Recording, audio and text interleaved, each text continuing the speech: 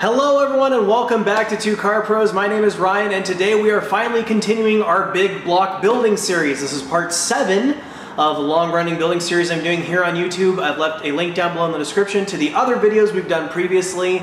Um, if you've been here for the whole journey, I really, really appreciate it. And I'm sorry it's been so long since the last one. A fan of the channel that wants to remain anonymous actually donated a four bolt main big block Chevy and said that I, they couldn't live with themselves if I only had a two bolt main and there were some mix-ups with the machine shop getting it uh, to the spec I wanted and uh, there was some mix-up with the connecting rods I had to sort out and finish so not every engine build goes smoothly. This one is certainly no exception so I wanted to uh, just tell you guys that it's been a few weeks just because of uh, some mix-ups and I wanted to thank the person that donated to me a 4-bolt main Gen 4 big block Chevy, which is what this is, bored 30 thousandths over. So with all that out of the way, today we're going to be focusing on putting the timing set in, getting it timed correctly, and putting the timing cover on. I know it doesn't sound like a lot, but there's a lot to meet and a lot of really important critical stuff this video that if you get even a little bit wrong will either ruin the engine or will leak forever. So it's really important to pay attention at this time. With all that out of the way, I've put all the applicable links down below in the description, and let's jump into it. All right, here's our timing set for today. It's a Cloyes 9-3110. I have left a link down below in the description to this exact uh, part, and you can find that information down below. So let's go ahead and open it. And we can open that up to reveal our timing chain, our uh, gear that goes on the end of the crank snout, and this is really cool. It came with a thrust bearing. This goes on the back side of the uh, camshaft gear. Uh, so you have a bearing between that and the engine, which is super, super cool. And then you of course have your camshaft gear, which is awesome. And I did want to mention that this particular system I have has three settings on it, so you can advance the cam, have it straight up, or have it uh, slightly retarded by plus or minus four degrees for this particular setup. So if you wanted like a hardcore race car, you could uh, retard it so all the power's on the top end. And if you wanted like a low-end grunt monster, you could advance it so all the power's uh, lower in the rev range. And if you are just driving around street car like I'm going to be doing, we're going to put it right in the middle so it doesn't have any uh, advance or retardation. So when we're installing our timing set on our engine here, we need number one to be at top dead center. And our Woodruff key, which you can't see, it's right about where my middle finger is, needs to be pointing this direction at number one. You can also tell because this piston will be at the top of our cylinder bore. And I'm going to show you how a really easy way how you can turn the engine over without using some sort of weird setup. So what I've done is taken some of the bolts that came off my old uh, crankshaft and flex plate assembly and installed them on the back of the crankshaft, three of them. And then I'm going to take a large screwdriver or pry bar and then you can move the engine like this. And just keep doing that until that Woodruff key points at number one. So we can start turning our engine here and uh, get that Woodruff key pointed in the right direction. And there we go. Our Woodruff key is pointing at number one, and number one is at the top of its engagement. So before we do anything, we're gonna take our camshaft sprocket and place it on there to make sure we got the Woodruff key right. And the way you can tell is because this key that's on there says zero when it's pointed straight up. So we know it's not the advanced or the retarded setting. Um, and you can read your instructions to get a little more in depth about that, but the, the simple fact of the matter is for this engine, this dome shape on the Woodruff key is the stock settings and that's what we're after today. But before we go any further, we're gonna heat this up in like a toaster oven or something because that'll help the metal expand and be able to uh, be pounded on easier because this is a pressed fit. So I have my crankshaft sprocket for the timing set in there.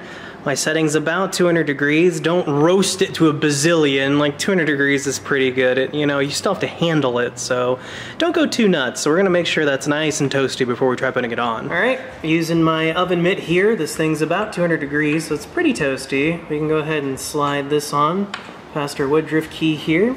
Get it nice and snug. Now, what I'm gonna do here is take a really large socket, which you can get pretty much anywhere, any big auto parts store, um, not sure how big around this one is, but it's, it's of good size. And we can slip that over the end of our crank snout and making sure none of the little points of this particular socket in, uh, interfere with our teeth.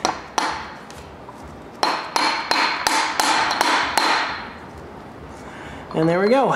And we can double check by seeing the zero at the top and the dome on our Woodruff key. So when you're hammering away at this too, you'll feel it kind of go on and then give and then stop. That means it's right at the uh, end of its travel. And don't worry if it's not on down to the micron perfect, because when we put the harmonic balancer on the end of the crank snout, it's really gonna push it on. This is what the finished product should look like. There shouldn't really be a gap between the end of the uh, cog or sprocket and the very beginning of the crankshaft. All right, so I'm gonna be using some ARP bolts uh, for the end of our camshaft sprocket here and uh, I didn't save the ones I had they were in pretty grubby shape so I bought some new ones. They're by ARP part number 1341001 I'll leave a link down below and uh, we can go ahead and test fit these to make sure they work. Okay we're good. These work perfect. All right so now we need to set our uh, camshaft before we get to the really exciting part with the timing chain and all that noise uh, we need to set our timing of our camshaft. And the way we do that is we can pre-fit this on, and we can see that this dot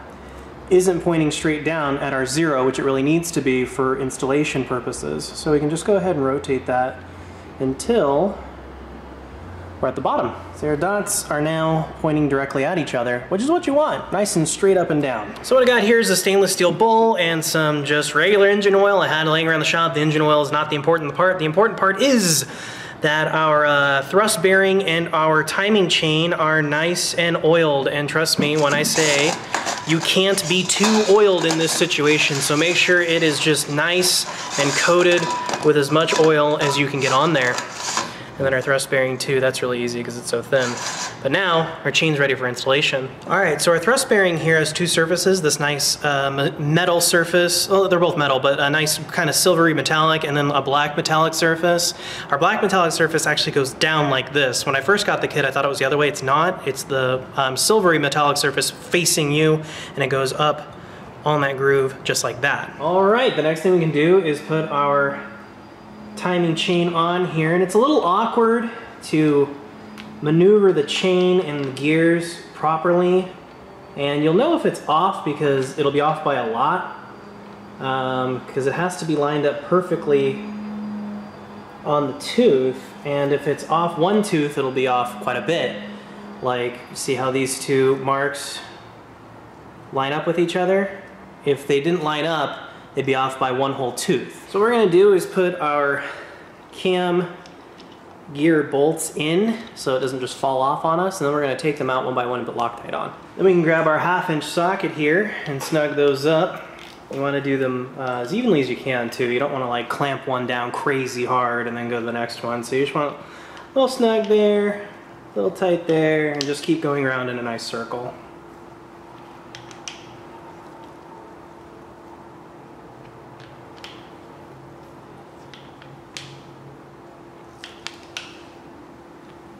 So one thing I want to point out before we go any further is the tautness of this chain. It is pretty tight when you're wiggling it around here. If this has any more slop than this, you either A, have the wrong chain, or B, a worn out chain, both of which are unacceptable. So this is what your final result should look like when we're uh, lining up the timing marks. What I've done is put some black Sharpie on the uh, stamped metal pieces. Uh, on your application, they won't be black marks, they'll just be stamped metal. I've only put the black marks there for uh, visual purposes, but they should line up perfectly like this. So all there should be four holes basically in line. The crank bolt hole, your timing mark for your crank, timing mark for your cam, and the cam center. So these four should all be in a perfect line just like this. If it is off slightly, you might be off a tooth, so you want to pull the uh, gear off and try again because it needs to look just like this. So what I've done is removed the uh, bolts for the cam gear here and we're going to apply some Loctite, some red 262 Loctite, link down below in the description. And I've taken the bolts out and I've cleaned those with some carburetor spray so there's no oil on them. And we're going to apply some Loctite on. Them. And that's what it should look like, about midway down the threads all the way to the end is plenty. And then we can install it. And we're going to do that for uh, all of these. Make sure to shake your Loctite like it says on the bottle before you use it. We can just give these a little even snug lightly. And then we're gonna grab our torque wrench and set that to 20 foot-pounds. And notice the torque wrench didn't go off right there, but I'm switching anyway because I want to keep the tension as even as possible.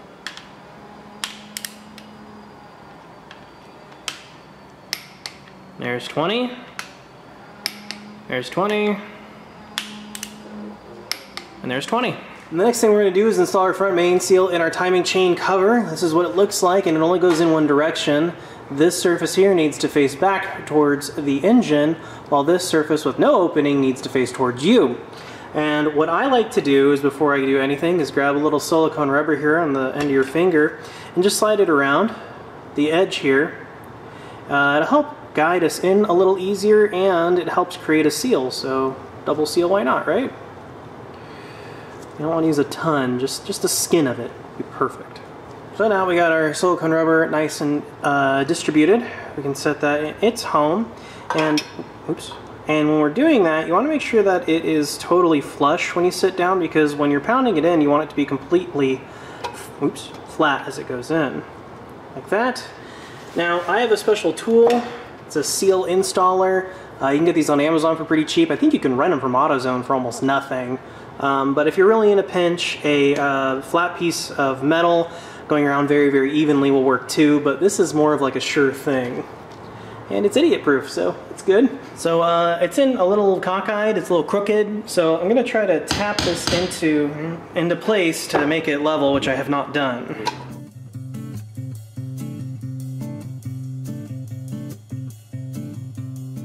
So it might take you a little bit to get uh, the sit just right because I mean you're basically chasing it around due to it being oversized.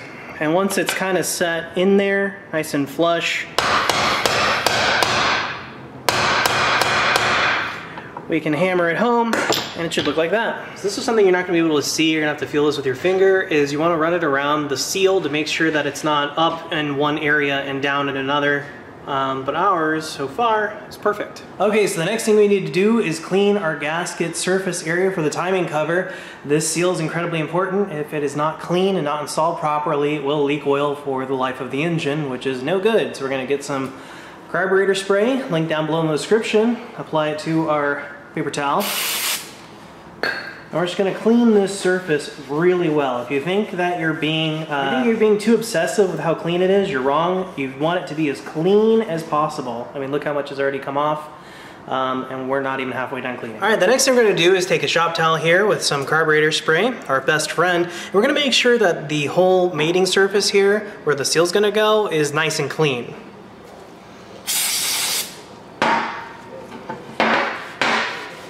And there we go, now we're ready for our gasket. So we're over here at the Scenic Trash Can because we're gonna be using some spray adhesive here, I have some Loctite stuff. And uh, we're gonna be spraying one side completely. This gasket in our application is completely reversible. So I'm gonna be spraying this side with the stripes, it really doesn't matter. But double check on yours just in case. And when you're spraying, you wanna make sure that you have a nice, pretty thick coat, thicker than you'd think like that of our contact cement and now we can go over to the plate. And we can set this thing down and is place so it's on both sides and then we can take it up and place it back down let the air get in there.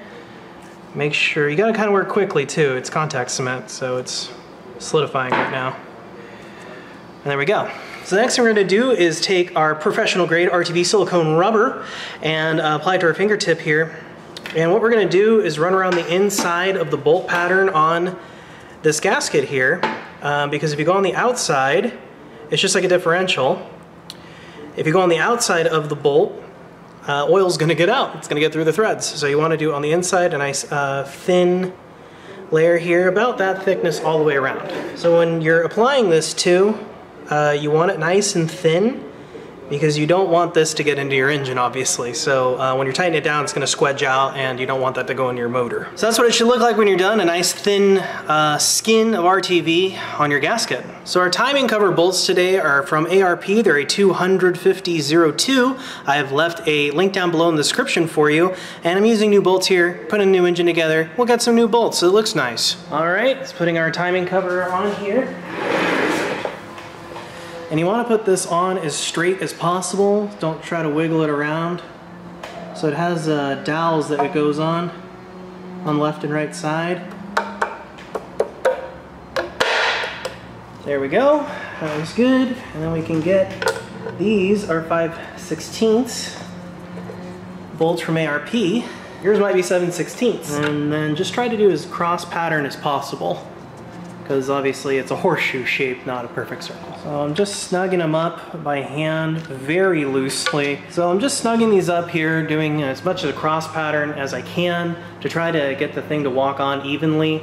And if you do this too tightly, you can actually split the gasket, which will cause a leak, so don't go crazy. Alrighty, our official torque spec for today is six foot-pounds. And I want to bring up that you're going to want to do this two or three times because as force is applied, the gasket is going to compress and that bolt's going to be loose. So we're going to do this two or three times. And we want to do a cross pattern just like we did before as best you can. There's six, six,